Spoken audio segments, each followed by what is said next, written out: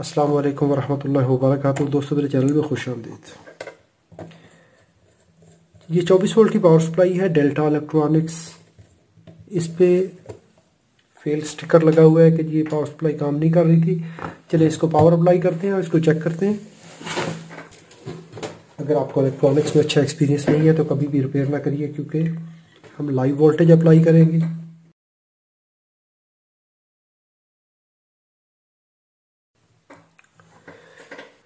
Lab पे कोई indication नहीं हुई एसी इनपुट वोल्टेज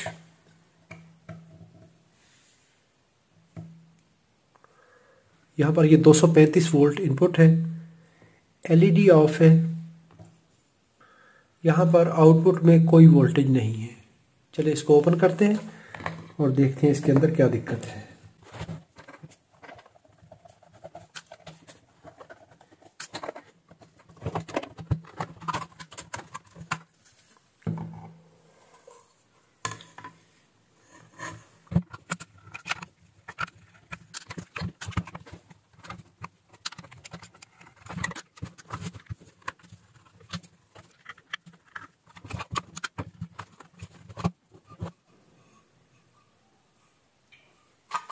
यहाँ पर देखें तो इसका मैट बिल्कुल साफ़ है। इस पे डस्ट है और इस जगह पे कुछ निशान है। अप्रोक्सीमेटली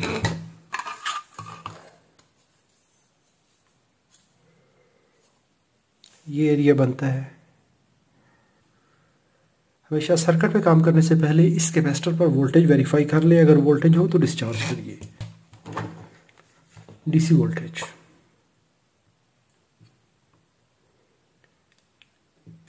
इस कैपेसिटर पर कोई वोल्टेज नहीं है तो हम इस पर काम कर सकते हैं।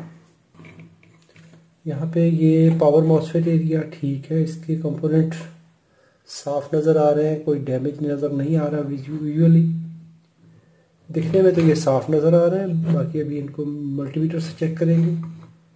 पीएफसी सेक्शन के कंपोनेंट भी क्लियर हैं, इस जगह पे कोई ब्लास्ट नहीं है।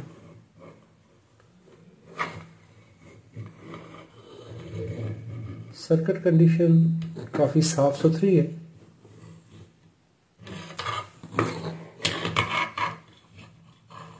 कैपेसिटर की टॉप सरफेस तो ठीक नज़र आ रही है। जी, ये कैपेसिटर यहाँ पर ये फूला हुआ है। ये कैपेसिटर। क्लियर।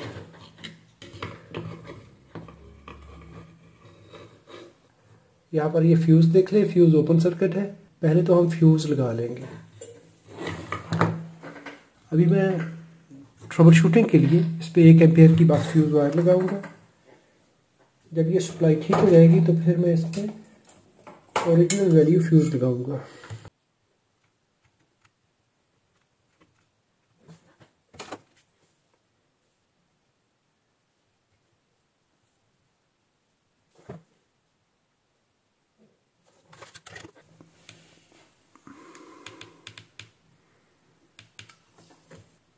यहाँ पर देखें तो इनपुट रेजिस्टेंस एक सौ अट्ठासी ओम आ रही जो कि गलत है। दैट्स रॉन्ग ये डायोड ठीक है। ब्रिज रेक्टिफायर के डायोड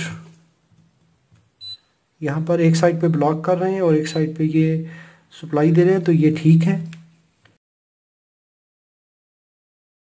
प्रॉब्लम इनपुट सेक्शन में है। हम पहले ये एमओवी देख लेंगे यहाँ पर।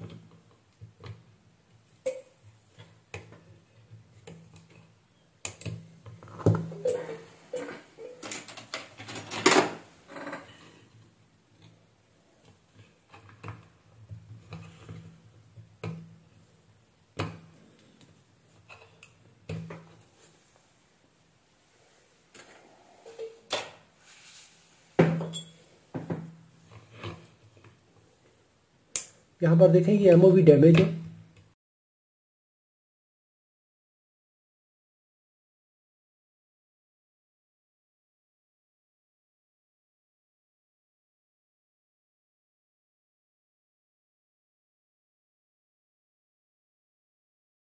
तो ये पावर सप्लाई कहीं हाई वोल्टेज पे एक्सपोज हुई है। इस पर लाइन वोल्टेज ज़्यादा आए हैं या आसमानी बिजली आई है तो ये देखें, ये एमओवी डैमेज है। अभी इसको मैं रिमूव करता हूँ।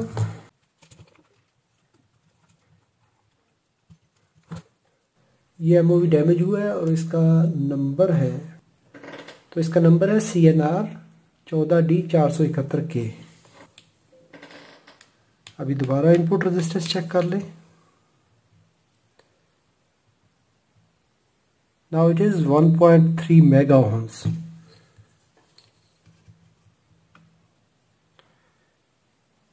so that means the input circuit is clear now. तो इसका मतलब है कि इनपुट सर्किट तो क्लियर हो चुका है। चलिए अभी इसको पावर अप्लाई करते हैं और टेस्ट करते हैं।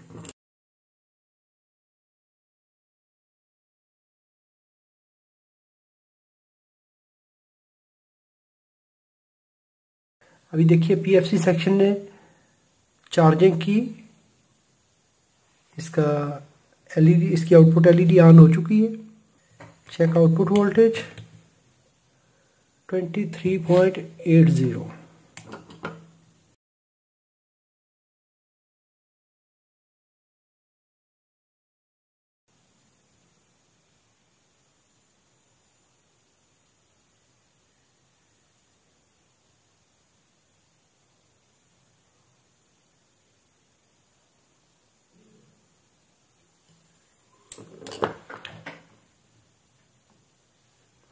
अभी देखिए इसकी आउटपुट आ चुकी है। अभी देखिए कितना छोटा सा फॉल्ट था इस पावर सप्लाई में।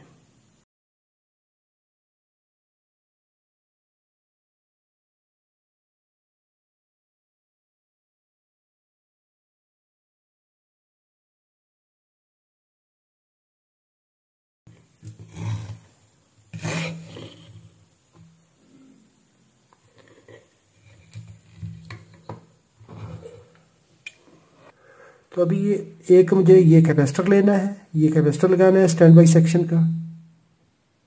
वरिस्टर फ्यूज़ तीन कंपोनेंट लगाने से ये पावर सप्लाई फुली फंक्शनल हो जाएगी। वीडियो अच्छी लगी हो तो लाइक कीजिए, सवाल हो तो कमेंट में लिखिए। अपना और अपने प्यारों का बहुत सारा ख्याल रखिए। असलकम वरहमल वर्का